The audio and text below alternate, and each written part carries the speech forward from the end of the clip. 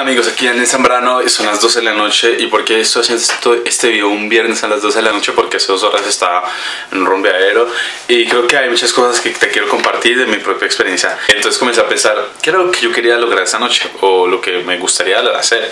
Era simplemente bailar con dos mujeres por lo menos y bailar de cierta manera que me sintiera cómodo con ellas, me sintiera seguro y me sintiera de tal forma que lo disfrutara. Porque algunas veces bailando uno se comienza a pensar, ¿será lo estoy haciendo bien? ¿Será que estoy enredando? Perdí el ritmo, bueno, etcétera. Entonces, pues, después de eso fui a la 85, me encontré con mi amigo. Em, fuimos a hacer rumbeadero, entonces un rumbeadero pues em, donde tú entras a cierta hora y hay clases de, baile, en ese caso estaba, había una clase de salsa choque.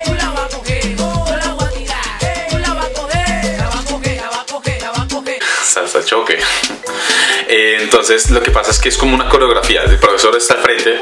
Lo primero que noté cuando entré fueron dos cosas. Primera cosa que había ocho hombres y cinco mujeres tomando la clase. Segunda cosa era que habían dos personas que habíamos como en otra noche, o sea, eran unos, unos amigos nuestros. Eh, los saludamos muy bien y comenzamos a tomar la clase y comenzamos a seguir la coreografía, etc. Y lo que pasó es que en un momento dado dijeron, bueno, tienen que tomar pareja para seguir la siguiente parte. Ah, yo estaba acá parado, pam. Aquí estaba un man y aquí estaba una vieja. Entonces yo esperé, bueno, muy seguramente vienen juntos, o son novios, o, son amigos, o vienen, bueno, etcétera. Esperé un minuto y el señor ni lo, 30 segundos, algo así. El chico no miró a la, chica, nada, no le dijo nada. Y yo simplemente dije, permiso. Y hola, eh, eh, eh, hola, ¿quieres? Hagamos esta coreografía juntos.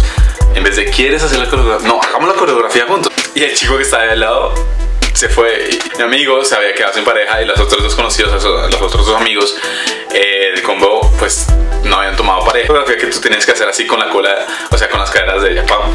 Bueno, un concurso. La persona, eh, la pareja que gana se gana unos tragos. Ok. Eran pocas parejas y cuando dijeron eso, se escondieron por allá. Mi amigo dijo, oiga, pase, pase. Eh, mi amigo grabó todo, grabó. Vamos con toda. Eso, es que hagan cambio y todo eso.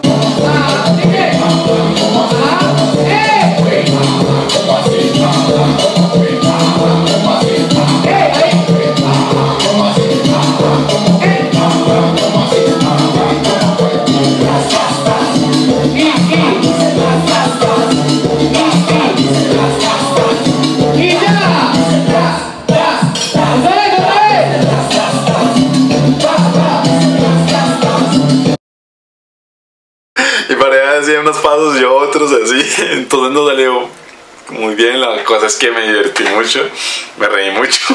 Entonces, gracias a esa enseñanza, y como que, ah, ya lo he hecho mil veces ya. ¿Para qué tomar delante serio? Entonces, eh, la persona, en un concurso de aplausos, la persona que ganó era un chico más o menos de mi edad. Que, que sabía moverse, bailar muy bien.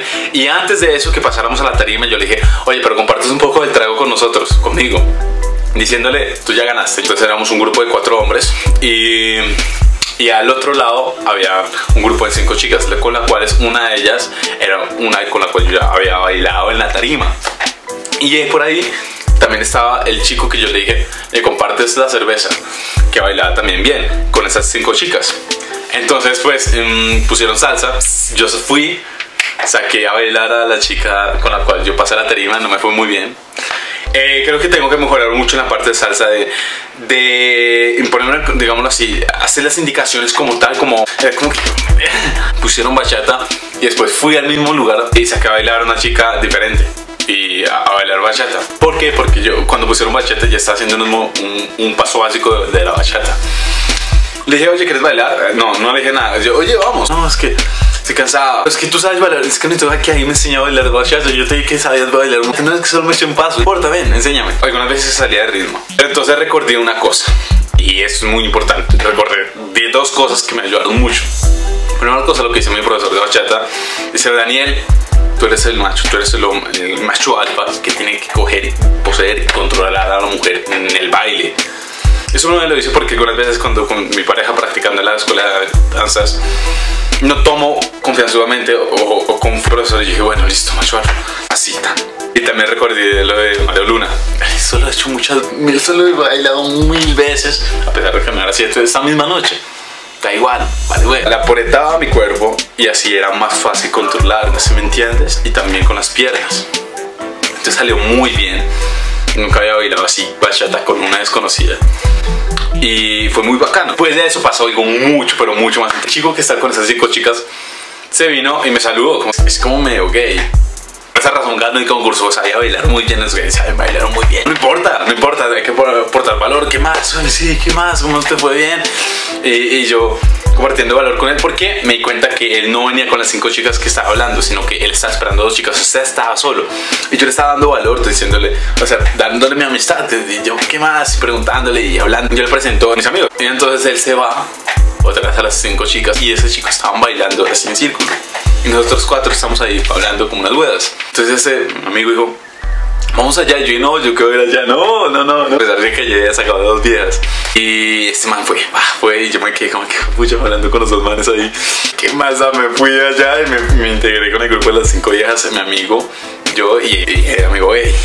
Estos dos amigos se integran al grupo, otro grupo. Entonces éramos eh, cuatro hombres chico gay y cinco mujeres. Sea, estamos bien, estamos equilibrados. Si no me hubieran nacido, si no me hubieran dicho de cierta manera de hacer un chiste con ese chico y intercambiar palabras y pasarla bien, muy seguramente se nos hubiera complicado el entrar al círculo de las mujeres porque ella había entrado ahí porque eh, es una persona pues que se le facilita muchas en las interacciones con este tipo de mujeres porque es gay y eso le da como cierta seguridad a las mujeres.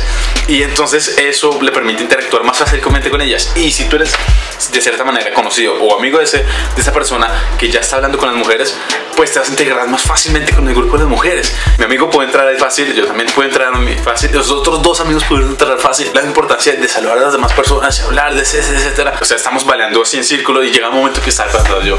Estamos bailando en círculo eso eh, casi no estamos hablando entre nosotros tampoco tensión en el ambiente nos conocemos y yo, pucha, ¿qué hacemos? Eh, cogí a una chica y comenzamos a bailar en la mitad del círculo, así, fa, fa, fa, fa. Pero entonces dejamos de bailar y después, eh, pucha, toca entregar más valor. Entonces cogí una chica de aquí y un chico de acá de, nuestro grupo y los uní y comenzaron a bailar ellos entre ellos. Entonces, como ya lo agradece era no solo para mí, sino que era como que aportar valor y que se animara la fiesta y compartir más valor y, generar más dinamismo en nuestro en ese grupo grande que somos 10.